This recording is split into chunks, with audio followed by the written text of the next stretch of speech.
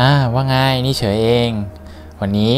เราจะมาสรุปแพชโน้ตของอัปเดตล่าสุดในเกม Oxygen Not Included กันให้ฟังนะครับ มีทั้งหมด 35 อย่างที่น่าสนใจ อย่างอื่นลองไปอ่านกันที่คำอธิบายด้านล่างได้เลยนะครับผมจะแปะลิงก์ไว้ให้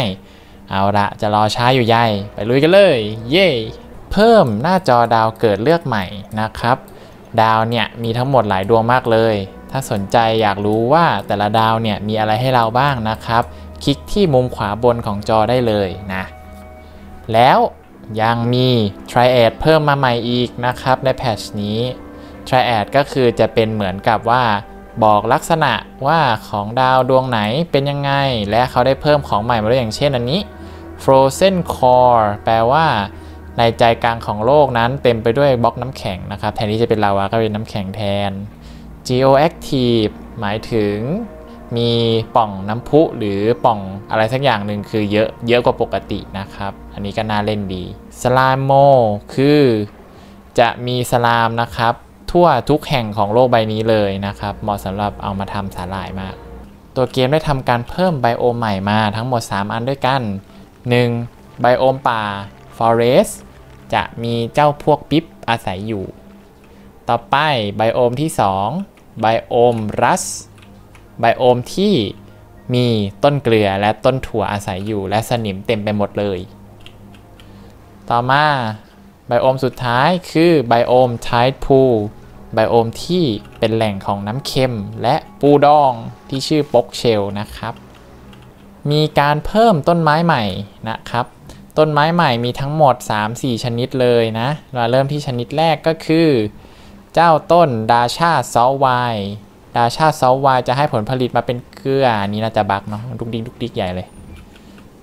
ต่อมาต้นที่ 2 คือต้น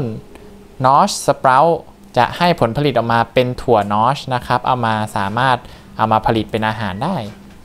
ต่อมาต้น Arbor Tree Arbor Tree จะให้ผลผลิตออกมาเป็น Lumber นะครับ ก็คือเป็นไม้ท่อนซุงอย่างนี้ ท่อนซุงก็คือจะสามารถเอาไปผลิตเป็นเอทานอลก็คือเอามากลั่นเป็นเอทานอลได้นะครับ เป็นเชื้อเพลิงให้กับเครื่องปั่นน้ำมันของเรา หรือจะให้น้อง Pip กินก็ได้ และต้น Oxyfern ต้นที่จะสามารถผันเอาคาร์บอนไดออกไซด์จากรอบๆตัวมันกลายมาเป็นออกซิเจนได้นะครับ ตัวนี้ดีมาก สุดท้ายคือต้น Waterweed นะครับ คือต้นผักกาดผักกาดน้ำจะให้ผลผลิตออกมาเป็นผักกาดนะครับ ต้องอาศัยอยู่ในบริเวณที่มีน้ำแล้วก็ต้องป้อนน้ำให้มันด้วยนะ เพิ่มสัตว์ชนิดใหม่หลายตัวเลย เช่น เจ้าหมา Pipหมาไม้หมาไม้ปิ๊บตัวนี้จะทำการนะเป็นมินิสัยสุกซนก็คือ เอาเมล็ดที่ได้จากพวกต้นไม้พวกนี้เนี่ยเอามาปลูกให้เลย คือไปคุยๆแล้วก็ปลูก แล้วก็กินลัมเบอร์เป็นอาหาร ต่อมาเจ้าปูป๊อกเชลนะครับ ปูป๊อกเชลจะมีนิสัยค่อนข้างที่จะดุร้ายนิดนึง คอยกินดินเสียและก็ของเน่านะครับ จะให้ไข่ออกมาด้วย กระดองของมันสามารถเอามาทำเป็นลามได้นะครับ เอามาบดเป็นลาม ปรับหน้าตา interface การเลือก dupe ใหม่ แยกเอา status ไปอยู่ในเกม ลดความงงในการเลือก ปรับค่า interest ให้เพิ่มค่า status นั้นๆ ที่ dupe ตัวนั้นสนใจ จะบวก 7 ถ้าสนใจอย่างเดียว บวก 3 ถ้าสนใจ 2 อย่าง บวก 1 ถ้าสนใจ 3 อย่าง เช่น ถ้าชอบขุดมากๆอยู่อย่างเดียวเลย จะตัวละครนั้นก็จะได้ status ขุดมาเลย 7 อัน สุ่มเลือก dupe แบบตามที่เราต้องการได้แล้ว แบ่งตามหน้าที่ เช่นว่าอยากได้นักขุด เราก็เลือกไปที่นักขุด แล้วเราก็ random roll อย่างอื่นออกมา นักขุดไอ role ความสนใจนักขุดก็ยังอยู่ แต่เราจะเปลี่ยนอย่างอื่นแทนเพื่อลดเวลาในการสุ่มลง job board จะไม่มีอีกแล้วในเกม แต่ปรับให้ skill ผังทั้งหลาย ผัง skill มาอยู่ในประตู warp ของเรานะครับ Printing Pod ของเราจะกลายเป็นที่ดู skill ของเรา เรียนรู้ skill ที่ dupe ตัวนั้นสนใจ สังเกตที่มีรูปหัวใจจะได้1 moral ทุกๆการเรียน เขาได้ปรับให้ obsidian แข็งขึ้นนะครับ ต้องใช้การขุดระดับ 3 และ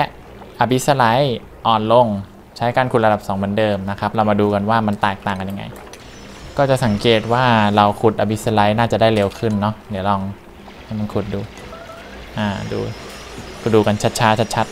ๆนะ abyssalite ก็ดูอ่อนลงเนาะคิดขุดง่ายขึ้น ส่วน obsidian ก็จะขุดยากหน่อย ก็จะนานหน่อยนะ อย่างที่กล่าวไปในระดับ 3 ก็คือออ s ซิเดียนจะแข็งขึ้น diamond ก็ด้วย เราจะต้องการใช้ skill ขั้นที่ 3 ของ dupe นะครับ เพื่อที่จะขุด 2อย่างนี้ออกมานะเพิ่มวัตถุดิบใหม่ในเกม นั่นก็คือแร่ aluminum ore ที่จะพบได้ในเขตป่านะครับ เขต biome forest rust หรือสนิมพบเจอได้ในเขตของสนิมนะครับ และเกลือนะครับ สามารถเอาจากต้น Salt Dasha Saltvine ได้ ปรับแล้วให้ Exosuit สามารถใช้วัตถุดิบทั้ง 3 อย่างได้ นั่นก็คืออลูมิเนียม copper และ iron นะครับ แต่ แร่ธาตุพวกนี้จะต้องทำการผ่านกระบวนการการถลุงมาก่อน ให้เป็นแร่โลหะบริสุทธิ์นะครับ จะไม่ได้ใช้แร่แร่แร่ดิบอีกแล้ว หน้าตา Research ใหม่นะครับ ในตัวหน้าจอ Research ของเราได้ทำการปรับหน้าตาใหม่ให้ไอคอนดูใหญ่ขึ้น และเราสามารถใช้ WASD ในการดูได้แล้ววู้นะซูมเอาไปไกลๆดู ก็คือเราจะเห็นว่าและบางอย่างนะครับ ก็ยังปรับด้วยว่า เออ มันปรับย้ายไปนู่นไปนี่นะครับ ก็ลองมาดูได้ว่าในรีเสิร์ชมีอะไรปรับไปใหม่บ้าง ปรับหมวดงานในการทำยาให้ไปอยู่ในหมวด doctoring ให้หมดนะครับ สังเกตว่าจะมีใน doctoring เนี่ยงานประเภทนี้จะมี treat patient นะครับ รักษาผู้ป่วย มีขนส่งเกี่ยวกับยา แล้วก็ compound medicine ก็คือบดยาหรือทำยานั่นเอง เมื่อก่อนเนี่ยไอ้เจ้าตัวเนี้ยมันจะไปอยู่ในหมวดของ operation ซึ่ง ทำให้คนงงว่าทำไมหมอไม่ถึงไม่ทำยาว่าอะไรอย่างนี้เขาก็ปรับใหม่ให้ไปอยู่หมวดเดียวกันแล้วเนาะโอเค มาในแพทนี้แสงไฟของเรามีประโยชน์มากขึ้นแล้วนะ แสงไฟจะช่วยให้ดูปสามารถทำงานในเขตที่มีแสงไฟเพิ่มประสิทธิภาพขึ้น 2%และบางห้องก็ต้องการแสงไฟในการที่จะทำให้มันเป็นห้องด้วย อย่างเช่น ในคอกของสัตว์นะครับ ก็ต้องการแหล่งกำเนิดไฟสังเกตที่ข้างล่างสุดเลยจะเรียกหาไลท์ซอร์สอยู่ ถ้าไม่มีมันก็จะไม่นับว่าเป็นห้อง เมื่อยามค่ำคืนนะครับ ในฐานอันวุ่นวายของเรา พวกดูปก็จะพยายามหาที่ที่ไม่มีแสงหลบในการนอนนะครับ สังเกตดู ก็คือถ้าเขาไม่มีเตียงนะ ถ้านอนกับพื้นนะจะหาที่หลบ ถ้าพวกดูปนอนในที่ที่มีแสงนะครับ ก็จะโดนรบกวนการนอน ก็คือจะตื่นขึ้นมากลางดึกแล้วก็จะนอนไม่หลับนั่นเอง เราก็ต้องระวังในการวางแสงไฟไม่ให้ใกล้กับที่นอนมากเกินไป ในตอนนี้พวกดูปจะไม่มีสถานะ grimy หรือว่าตัวตัวเลอะเทอะแล้วนะครับ จะไปเปลี่ยนเป็นว่าถ้าดูปนั้นได้อาบน้ำก็จะเพิ่มมอรัลแทน หลังจากที่พวกดูปหายจากโรคเกี่ยวกับอาหาร สลามหรือซัมบี้พวกดูก็จะไม่ติดโรคพวกนั้นสักพักหนึ่งนะครับ ก็คือเหมือนมีภูมิต้านทานอีกรอสักแป๊บหนึ่งมันถึงจะติดใหม่เนาคราวนี้มาดูที่เวลาเราดูปของพวกเราจะชอบติดเชื้อสลามรังกันง่าย ๆ เชื้อเนี่ยมันลอยในอากาศใช่ไหม แต่คราวนี้เขาบอกว่าถ้าดูพวกนี้แค่เดินผ่านกระเป๋ออากาศที่มันลอยในอากาศแบบที่มันมีเชื้ออยู่นิดหน่อยเนี่ยมันจะไม่ติดเชื้อนะครับ จะต้องอยู่ในอากาศที่ติดเชื้อนานพอสมควรหลายวินาทีเลยกว่ามันจะติดเชื้อ เครื่องปั่นไฟปิโตรเลียมไม่จำเป็นจะต้องใช้พลาสติกในการสร้างแล้ว อาจจะเป็นเพราะว่าเครื่องปิโตรเลียมเนี่ยใช้เชื้อเพลิงจากที่อื่นได้สงสังเกตว่า มันจะใช้คำว่า combustible liquid นะครับ แปลว่าของเหลวที่สามารถจุดติดได้ ก็จะมีเอทานอลนะครับ ที่เป็นสสารใหม่ที่ได้จากการกลั่นจากน้ำเอ้ย ที่ได้จากการกลั่นจากตัวต้นไม้นะครับ ก็จะได้มาเป็นเอทานอล ก็ามาใช้เพื่อผลิตพลังงานได้ ปรับสิ่งก่อสร้างที่ทำการเอาสสารออกจากตัวเอง ในอุณหภูมิที่ ถูก fix ไว้แล้วอย่างเช่น ตัว Sieve หรือ Water Sieve หรือว่าเครื่องกรองน้ำนะครับ ปกติแล้วไม่ว่าจะเอาของเหลวเข้าไปอุณหภูมิที่เท่าไหร่นะครับ ในที่นี้ก็คือน้ำเสียเข้าไปดูอุณหภูมิที่เท่าไหร่ น้ำก็จะออกมาที่ 40 องศาเสมอ คราวนี้เขาปรับแล้วเขาปรับเป็นว่าให้ 40 องศาเนี่ยเป็นอุณหภูมิมาตรฐานของเครื่องนี้คือต่ำกว่า 40 องศาเข้าไปก็จะออกมา 40 องศา แต่ว่าถ้า เรานำน้ำเสียที่มีอุณหภูมิมากกว่า 40 องศาเข้าเครื่องไป เครื่องก็จะนำน้ำที่ร้อนกว่าออกมานะครับ ในที่นี้คือมันออกมาที่ประมาณ 60 องศา คือก็อาจจะไม่ได้เท่ากับแหล่งกำเนิดที่เข้าไปเนาะ แต่ว่าน้ำจะร้อนขึ้น แล้วเขาบอกว่าเขาปรับไอหลักการอย่างเงี้ยกับตึก หรือว่าสิ่งก่อสร้างที่มีคุณสมบัติแบบนี้หมดเลย ตอนนี้เราสามารถลากเส้นยาวๆ โดยที่ไม่ต้องกลัวขาดแล้วนะครับ ก็คือเมื่อก่อนเนี่ยยังมีสิทธิ์ที่จะลากแล้ว มันขาดเนาะระหว่างลาก แต่ตอนนี้สามารถทำได้แล้ว โดยที่ไม่ต้องกลัวอะไรแล้วนะแจ๊ฟปรับเรื่องไอคอนของการเก็บกวาดของนะครับคราวนี้มันจะโชว์แล้วว่าถ้าของชิ้นนั้นมีที่เก็บมันก็จะเป็นไอคอนสีขาวนะครับ แต่ถ้าไม่มีก็จะเป็นไอคอนสีแดงเนาะเพิ่มดวงดาวใหม่ให้สำรวจมากมายในอวกาศ และเมื่อไปสำรวจ ดาวแต่ละดวงก็จะมีทรัพยากรหรืออะไรบางอย่างที่จะมีจำกัดนะครับ ไม่สามารถแบบว่าไปเพื่อเอามาแบบ infinity ได้แล้ว คราวนี้ก็คือดาวแต่ละดวงมีวันหมดไปนะครับ แม้แต่ดาวก็ยังหมดไปเนาะข่าวร้ายของพวกที่ชอบใช้ Wheezewort นะครับ คราวนี้เขาได้ nerf Wheezewort ลงมาแล้ว โดยทำให้มันเป็นพืชปลูก แทนที่จะเป็นพืชตกแต่งแล้วนะครับจำเป็นจะต้องใช้ดินด้วยก็คือฟอสฟอรัสในการปลูกเพื่อให้มันได้ประสิทธิภาพเต็มที่นะครับ คราวนี้แหละ ก็ต้องมานั่งปวดหัวคิดคิดคิดใหม่ละว่าจะยังไงดีกับแกเนี่ยฮะ Wheezewort เอ้ยตัวเมล็ดพืชที่ตกอยู่บนพื้นดิน มีสิทธิ์ที่จะโตขึ้นมาเองได้ตามธรรมชาติ ถ้าปล่อยไว้นานๆ หรือจะใช้ความช่วยเหลือจากเจ้าพวกปิ๊บนี่ก็ได้นะครับ เพราะพวกปิ๊บนี่ก็จะอมเมล็ดพันธุ์ไปปลูกให้เราได้เนาะเดี๋ยวดูสิอ่าเจ้าปิ๊บน่ารักจริง ๆ เลย มันก็จะปลูกต้นไม้ให้เราแบบที่เราไม่ต้องเปลืองแรงเลยนะครับ ในแพชตอนเริ่มแรกนะครับ ตัว Water Weed นี่ไม่จำเป็นจะต้องให้น้ำมาเลย แค่พออยู่ในน้ำตื้นๆก็พอ แต่คราวนี้เขาปรับให้เราจะต้องใช้ irrigation หรือว่าจะต้องเลี้ยงน้ำด้วยน้ำเค็ม และจะต้องการการเติมปุ๋ยตลอดเวลาด้วย brimstone นะครับหรือหินฟอกขาว ซึ่งมันก็จะทำให้เจ้าพวกนี้ปลูกยากและวุ่นวายมากขึ้น แถมโตช้ามากๆอีกนะฮะ แต่ก็ถ้าปลูกสำเร็จนะครับ เราก็จะได้เลตุสหรือว่าผักกาดน้อยมาทำอาหารขั้นสูงได้นะครับ มาทำซูชิมาทำเห็ดห่อนะครับ อันนี้เราก็จะดูกันต่อเป็นเลดเป็นพืชเลดเกมเอาง่ายๆต่อมาเจ้าต้นถั่วก็ได้ปรับนิดๆหน่อยๆเนาะระหว่างการเล่น โดยที่ต้นถั่วจะถูกเปลี่ยนจากการให้น้ำปกติ ให้จะต้องให้น้ำเสียแทนแล้วคราวนี้ กลายเป็นว่าไอ้สองตัวนี้อยู่ด้วยกันไม่ได้แล้วจ้า เพราะว่าเสาสองตัวนี้มันชอบอากาศหนาวเหมือนกัน เขาให้เหตุผลว่า ไอตัวเนี้ยมันอยู่ในอากาศหนาวใช่ไหมไอน้ำน้ำน้ำเสียเนี่ยมันมีสภาพการการแข็งตัวนะดีกว่าคือเขาเรียกว่าอะไรมีจุดเยือกแข็งมากกว่าตัวน้ำธรรมดาเขาก็เลยเปลี่ยนมาเป็นน้ำเสียแทน แล้วทำไมไม่ทำกับวีสลีดวีล่ะสลีดวีเนี่ยต้องใช้น้ำธรรมดาเนี่ยวุ่นวายกว่าอีกนะฮะหรือเห็นว่าเป็นพืชเลดเกมเลยไม่ทำอะไรฮะ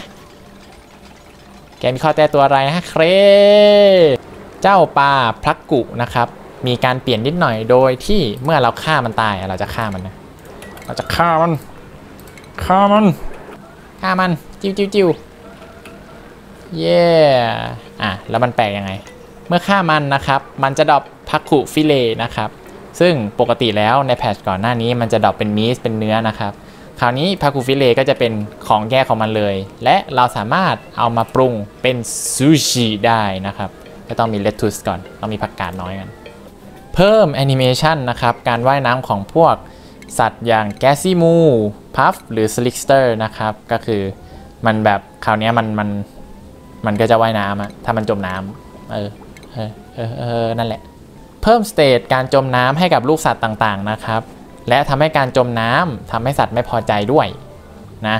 แต่การจมน้ำก็ทำให้สัตว์พวกนี้ตายอยู่ดี เออตายเลย เมื่อพูดถึง achievement ของเรา achievement มีใน Steam แล้วจ้า นะ แต่ไม่รู้ด้วยว่าคืออะไร มันล็อกอยู่ มีแค่สองอันเอง what เพิ่มฉากจบในเกมนะครับ ฉากจบในเกมหมายถึงยังไงเนาะ หมายถึงว่าในตัวของประตูวาร์ปเนี่ยจะมีเหมือน ถ้าเรียกง่ายๆก็คือมี quest ให้เรา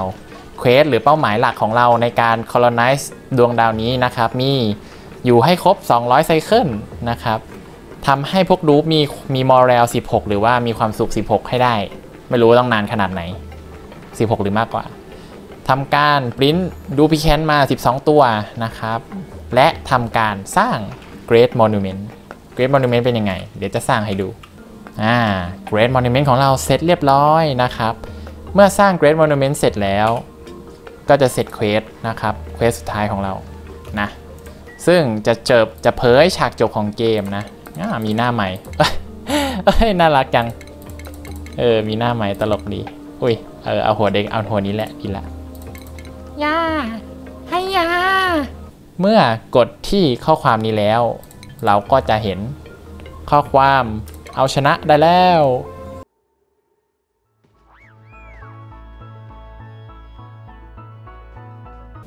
อ่าและมันก็จะโชว์ นี่ ว่าอะไรเราสำเร็จไปแล้วบ้างนะอ่าเป็นยังไงกันบ้าง ได้รู้กันไปต้อง 35 อย่างเนาะแต่ก็ยังมีอีกหลายอย่างเลยนะ ที่อัปเดตไปในเกมนี้นะครับ ก็ใครสนใจนะครับ ไปเช็คใน patch note ที่แปะไว้ด้านล่างได้เลย อันนี้ map ที่ผมเล่นเนาะเล่นมา 30 วัน อันนี้เป็น map ทดลองนะ ไม่ได้แบบจริงจัง คือเราจะลองว่าแบบเออไอเนี้ยจะเลี้ยงปูยังไงให้มันพอดีอะไรเงี้ยหรือแบบว่าจะเลี้ยง Pip ยังไงให้มันแบบ อยู่ได้แล้วก็ได้ดินเยอะๆอะไรเงี้ย